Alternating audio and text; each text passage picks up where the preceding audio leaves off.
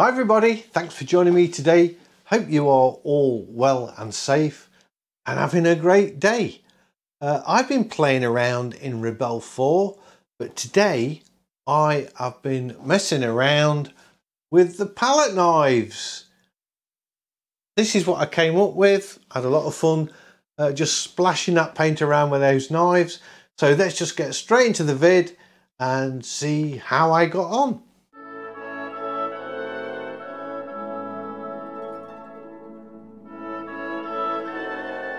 Right, here we are in Rebelle 4. I'm going to paint this wet scene. This is a um, a place Special K and I went to before the lockdown. It absolutely teemed it down and it's a nature reserve. You see lots of birds there and there's a lake you can walk around. I think it's called the Attenborough Game Reserve uh, in near Long Eaton in Nottinghamshire. I'm not too sure if I got the name right. Um, anyway, it rained and it rained and it rained. And I thought that would be a nice subject to use. I'll just shrink this down again to play with the palette knives. So um, I think colour wise, I'm going to try and do a muted palette. But we've got two knives here. One, uh, which is called knife two. If you if I zoom in, you can see we get quite thick paint. I can wipe the oil, oiliness up of it, and take the oiliness down and get it much drier, which I quite like that. You get this sort of scumbly effect. The other brush, the other knife, knife one, is a bit, little bit soft. Looks more like an airbrush almost. So I, I don't know if I'm going to use that so much. And also, I want to make use of the canvas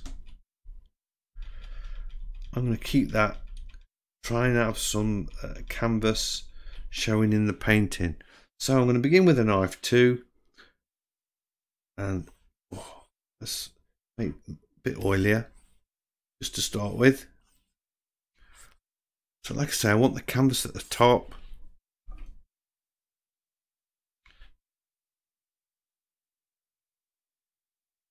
Just sweeping some sky. I love the fact that you can get really, really big brushes uh, in um, Rebelle, much more so than in other apps that I've tried.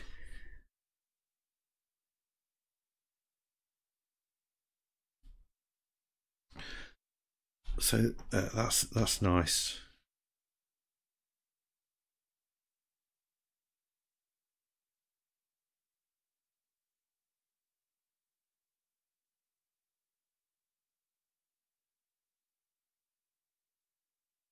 And we've got these modes here lot and we've got a, sort of um, paint mode. I don't know if they're called modes. I'm calling them that. And then the fourth one along we've got blend which I've played around with. I really like that because you can sort of blend these colors together and and get this sort of effect of of the rain just blurring your vision Love that, love that. And I can blend that up that in the path there. Um, let's get this building in.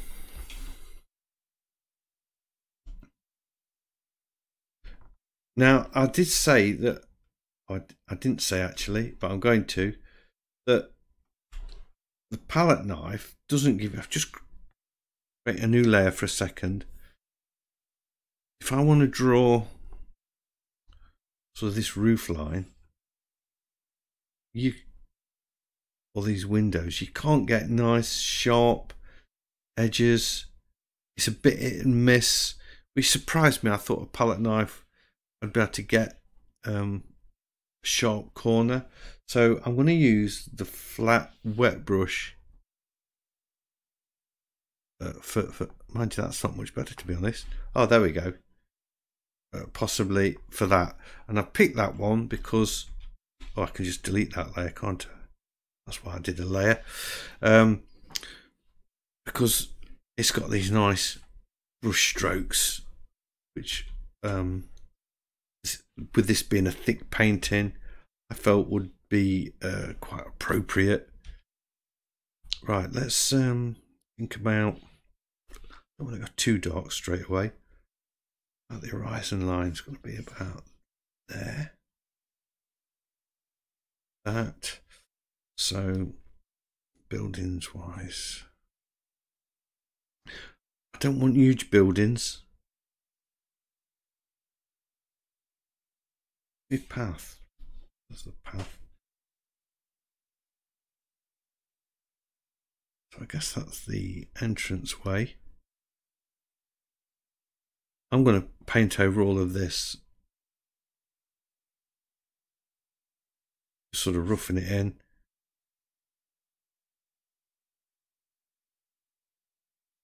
There, that's the sort of building there. Got this bush which I can paint in down there. And one, two. That's cool. We got this building that comes like this. So like I say, I'm using um, paintbrush at this stage.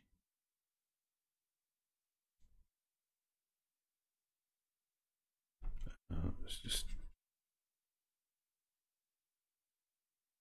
because I found that the palette knives didn't give me the level of um, accuracy I needed just for this bit and then it's back in with the uh,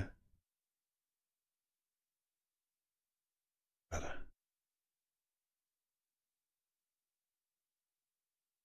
About like that I think.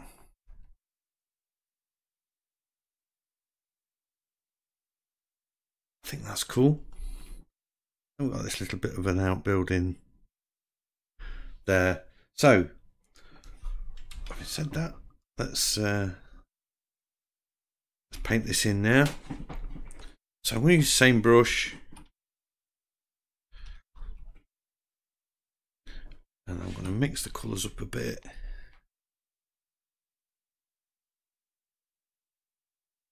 This is probably the only little bit where I'm going to um, be doorway, isn't it? Be, dark. The only bit where I want to put any real colour, I think.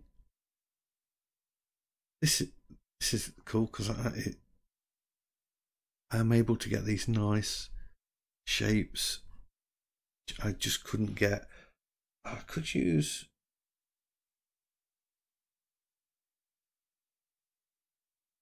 I was thinking of trying a different brush, thick wet maybe. No, no, no. That's the one. I want that texture there like that.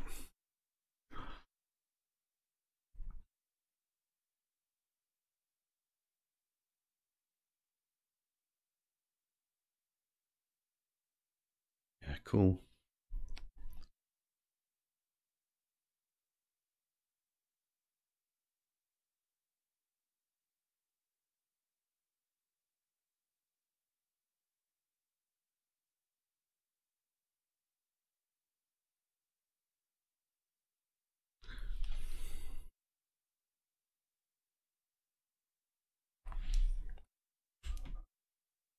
Like. That looks all right. It's not too bad. Want some darker putting in, I think.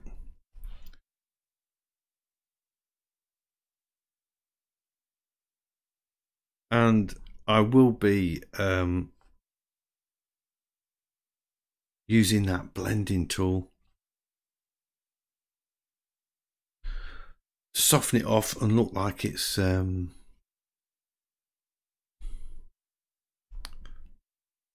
Whoops.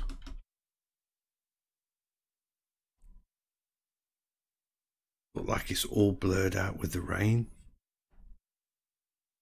That'll come later. Just feeling it looks a little bit blocky at the minute.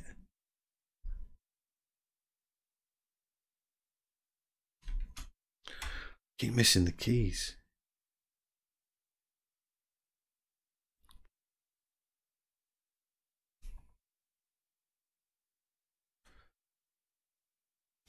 Right, let's get to back to the palette knife, and I'm thinking, you know, I said I was only going to put like colour in here. No, I'm not. I didn't mean that. I meant I'm going to put lots of colour in here as well.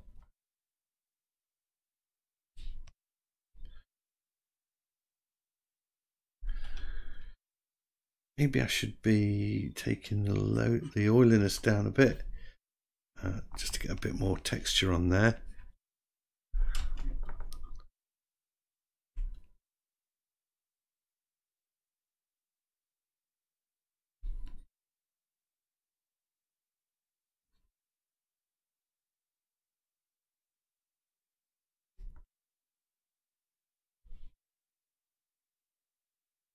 They're reeds, aren't they?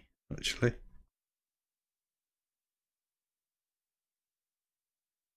So we can definitely do something with that.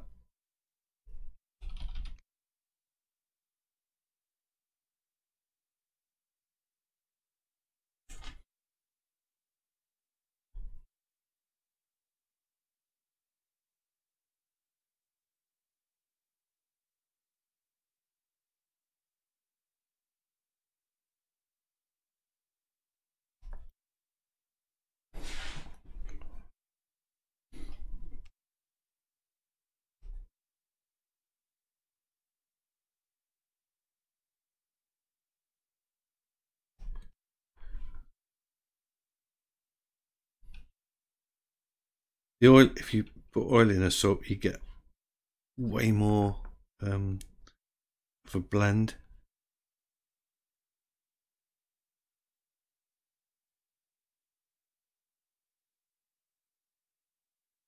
See, I want to soften that the edges of that building.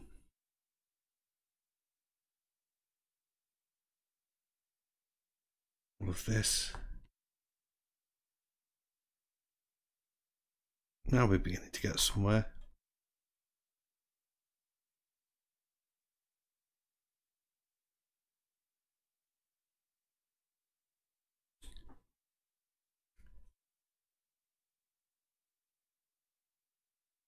Just the blurriness of the whole thing, the rain pounding down, softening edges.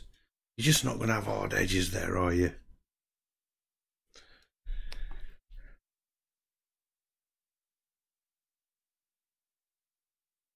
They should be that should be bluer. I kind of like the dark bit in it as well though.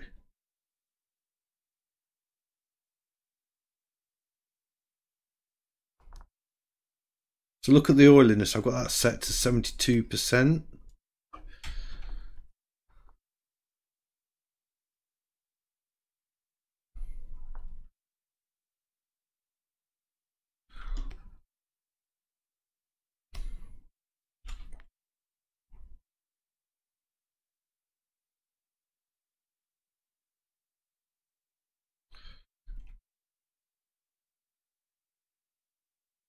Blending tool on.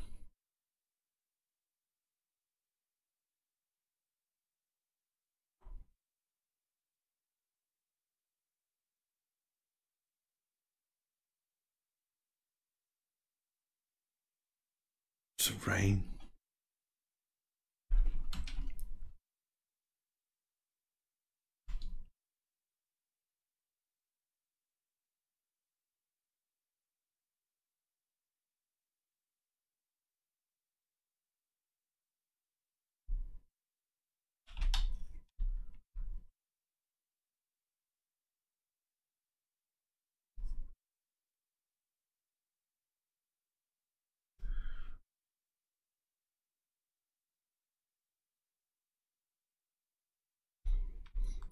Notice when you uh, sample a colour, this mode goes back to paint.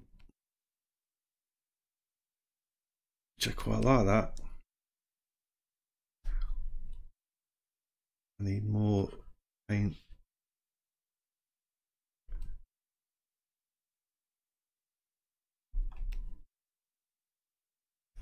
Smaller.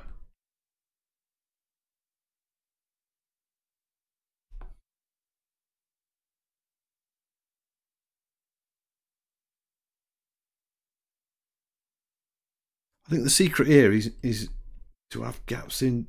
Don't have these all the same height all the way across. I was falling into that trap then.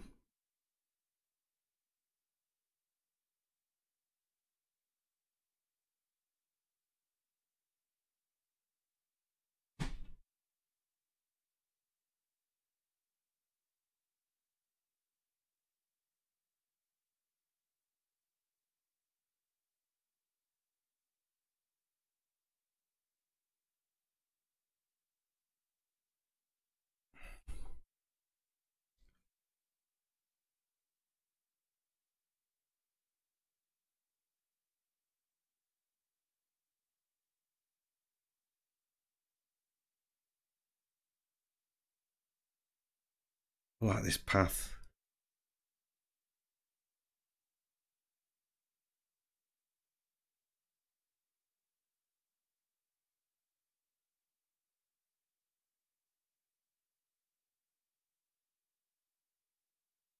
Needs to be a bit warmer now.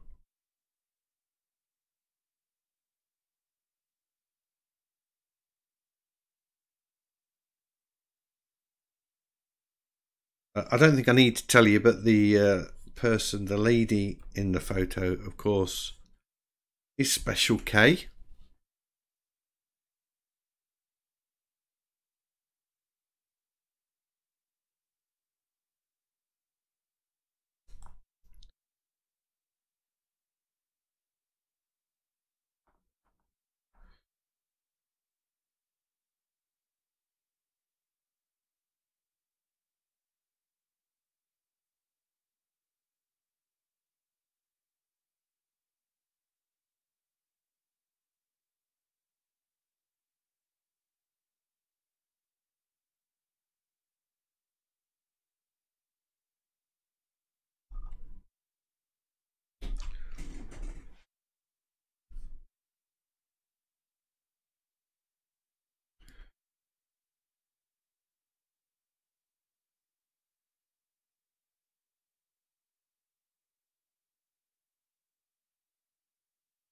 we go.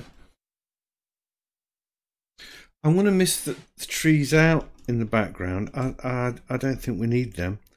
need to put Special K in the picture though. I think I'll do that with the brush, the flat wet brush.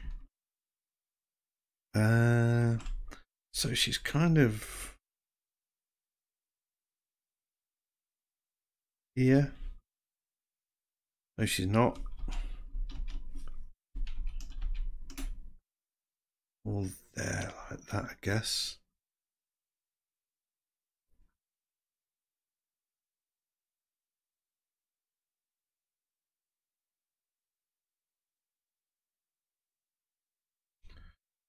Probably keep it in silhouette.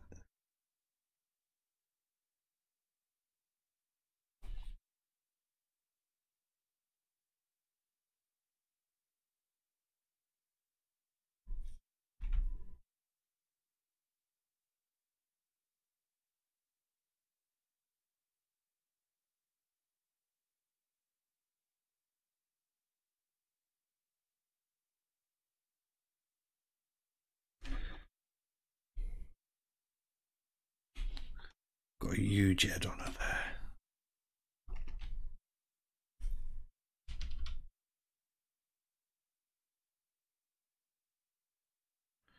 That's better.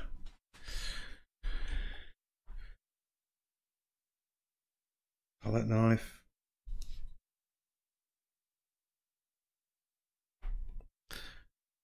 Leave those reflections in, don't we? Sort of come into there like that. Big long reflection.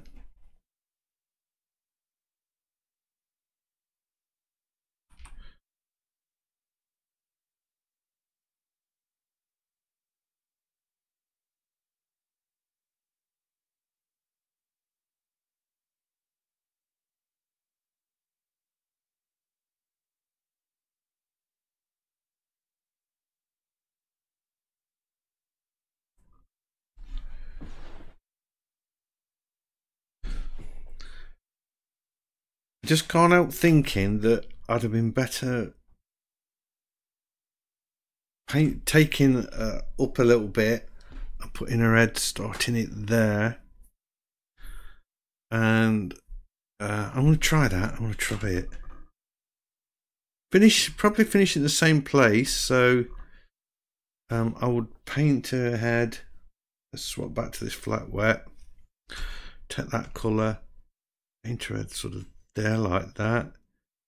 And then the shoulders come out like this.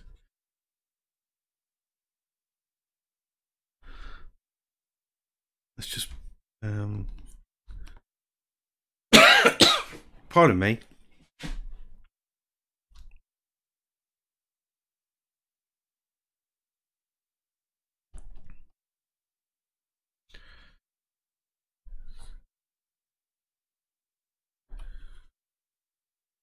Shame that was because I was really, really pleased with that figure, and I could have moved it. I suppose could have just moved it.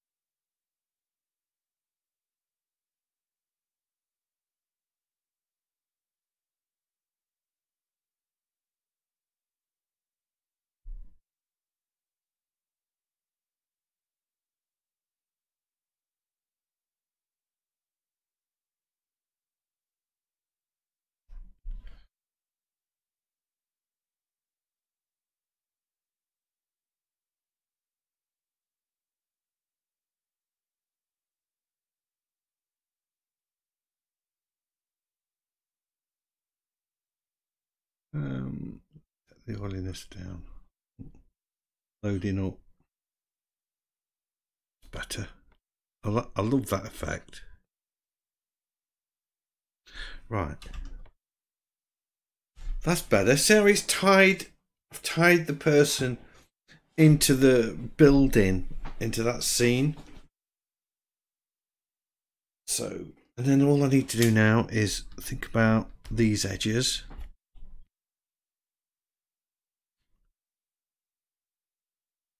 Uh,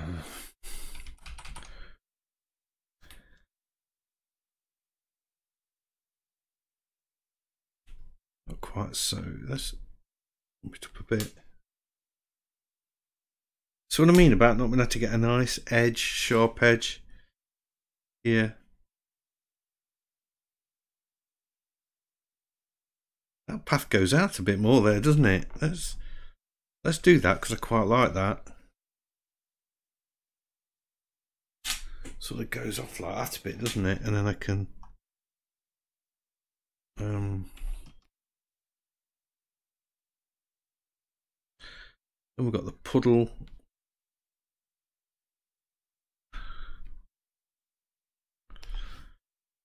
not quite as dark as the shadow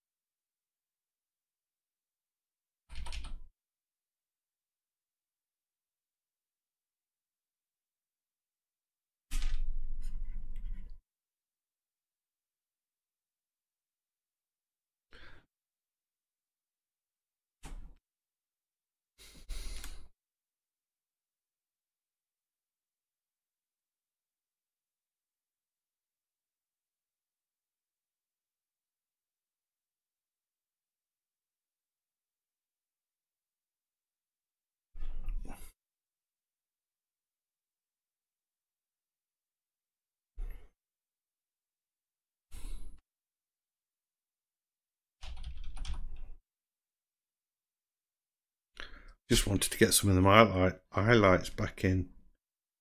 As uh, looking a bit sludgy, I felt.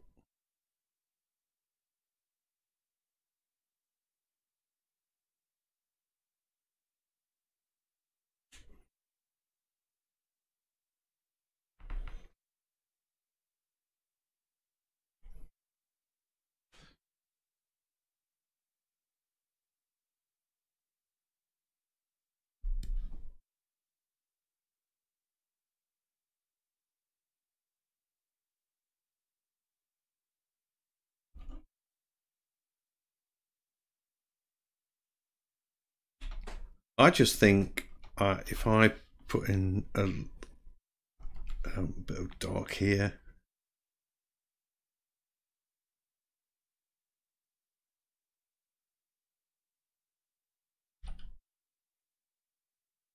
maybe even darker. Just leads you in, into the painting a bit.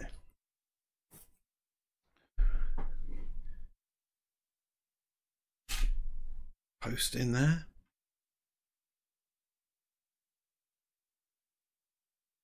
Yeah, I like that. I like that. Do I need this fence? Maybe just an indication.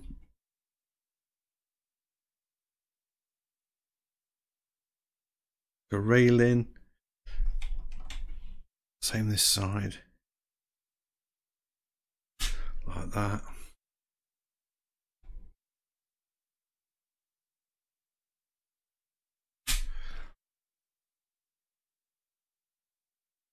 Think that's it. I think I've finished my palette knife painting. So what did I think to the knives?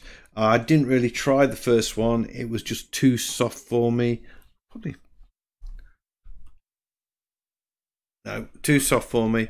The second one I loved. I loved the fact that you could get really uh, thick texture and by adjusting the loading you got this sort of difference between a blending and a scumble where the paint goes on thick. Love that. You couldn't really paint sharp lines with it though. Uh, so I did have to incorporate a brush. I could have used the eraser with it. And uh, just sort of like lifting paint out with the uh, imagine using an uh, um, a bit of rag with a palette knife to uh, lift colour out. I guess I could have done that like that. Um, I don't want to though. I, could have done that. So there we go. I like the fact that I've left canvas showing here and there. So uh, just got to paint, uh, just got to sign it. Maybe I might be better off going with um, just one of these wet, these thin paint ones and a filbert, just a regular filbert, small brush. Let's do it with the orange colour. Yeah.